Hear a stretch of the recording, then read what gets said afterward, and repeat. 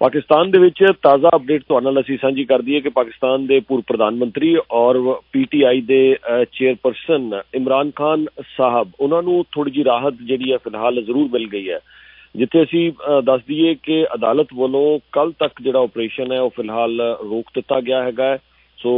ਕੱਲ ਸਵੇਰੇ 10 ਵਜੇ ਤੱਕ ਪਾਕਿਸਤਾਨ ਟਾਈਮ ਦੇ ਮੁਤਾਬਿਕ ਫਰਦਰ ਕੋਈ ਵੀ ਜਿਹੜਾ ਆਪਰੇਸ਼ਨ ਹੈ ਉਹ ਨਹੀਂ ਹੋਏਗਾ। ਅਸੀਂ ਦੱਸ ਦਈਏ ਕਿ ਸਾਰਾ ਦਿਨ ਜਿਹੜਾ ਹੈਗਾ ਆਪਸ ਦੇ ਵਿੱਚ ਕਾਫੀ ਟਕਰਾਵ ਜਿਹੜਾ ਚੱਲਦਾ ਰਿਹਾ ਹੈ। Law enforcement agencies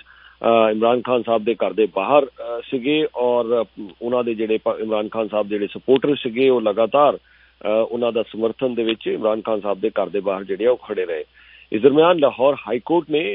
ਇੰਟਰਵੀਨ ਕੀਤਾ ਔਰ ਉਹਨਾਂ ਨੇ ਕਿਹਾ ਹੈ ਕਿ ਕੱਲ ਸਵੇਰੇ 10 ਵਜੇ ਤੱਕ, ਯਾਨੀ ਕਿ 16 ਮਾਰਚ ਸਵੇਰੇ 10 ਵਜੇ ਤੱਕ ਜਿਹੜੀ ਹੈ, ਫਿਲਹਾਲ ਆਪਰੇਸ਼ਨ ਜਿਹੜਾ, ਉਹ ਰੋਕ ਦਿੱਤਾ ਜਾਏਗਾ। ਇਸ ਦਰਮਿਆਨ ਇਮਰਾਨ ਖਾਨ ਸਾਹਿਬ ਦੇ ਅਰੈਸਟ ਵਾਰੰਟ ਜਿਹੜੇ ਆ, ਉਹਨਾਂ ਨੂੰ ਕੈਨਸਲ ਕਰਨ ਵਾਸਤੇ ਇਸਲਾਮਾਬਾਦ ਹਾਈ ਕੋਰਟ ਦੇ ਵਿੱਚ ਜੋ ਅਪੀਲ ਦਾਖਲ ਕੀਤੀ ਗਈ ਸੀ ਉਸ ਨੂੰ ਫਿਲਹਾਲ ਰਿਜੈਕਟ ਕਰ ਦਿੱਤਾ ਗਿਆ ਅਸੀਂ ਦੱਸ ਦਈਏ ਕਿ ਨਾ ਸਿਰਫ ਇਸਲਾਮਾਬਾਦ ਪੁਲਿਸ ਸੀਗੀ, ਬਲਕਿ ਇਸ ਤੋਂ ਇਲਾਵਾ ਪੰਜਾਬ ਪੁਲਿਸ, ਰੇਂਜਰਸ, ਇਹ ਸਾਰੀਆਂ ਲਾਅ ਇਨਫੋਰਸਮੈਂਟ ਏਜੰਸੀਜ਼ ਨੇ ਤੋਸ਼ਾਖਾਨਾ ਮਾਮਲੇ ਦੇ ਵਿੱਚ ਇਮਰਾਨ ਖਾਨ ਸਾਹਿਬ ਦੀ ਗ੍ਰਿਫਤਾਰੀ ਦੀ ਜਿਹੜੀ ਹੈ, ਉਹ ਕੋਸ਼ਿਸ਼ ਕੀਤੀ ਹੈ। ਲੇਕਿਨ ਉਹਨਾਂ ਦੀ ਫਿਲਹਾਲ ਜਿਹੜੀ ਗ੍ਰਿਫਤਾਰੀ ਹੈ, ਉਹ ਨਹੀਂ ਹੋ ਸਕੀ।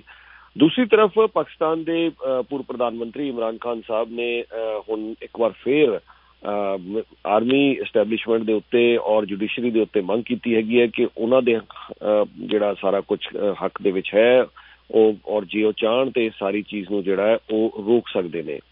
ਇਸ ਦਰਮਿਆਨ ਪੰਜਾਬ ਪੁਲਿਸ ਦੇ ਜਿਹੜੇ ਚੀਫ ਨੇ, ਪੰਜਾਬ, ਪਾਕਿਸਤਾਨ ਸਾਈਡ ਦੇ ਪੰਜਾਬ ਪੁਲਿਸ ਦੇ ਚੀਫ ਨੇ ਕਿਹਾ ਹੈ ਕਿ ਉਹਨਾਂ ਦੇ 54 54 ਜਿਹੜੇ ਪੁਲਿਸ ਕਰਮਚਾਰੀ ਨੇ, ਉਹ ਬਹੁਤ ਸੀਰੀਅਸਲੀ ਜਿਹੜੇ ਨੇ ਉਹ ਇਸ ਝੜਪਾਂ ਦੇ ਵਿੱਚ ਜਿਹੜੇ ਨੇ ਉਹ ਜ਼ਖਮੀ ਹੋ ਗਏ ਨੇ।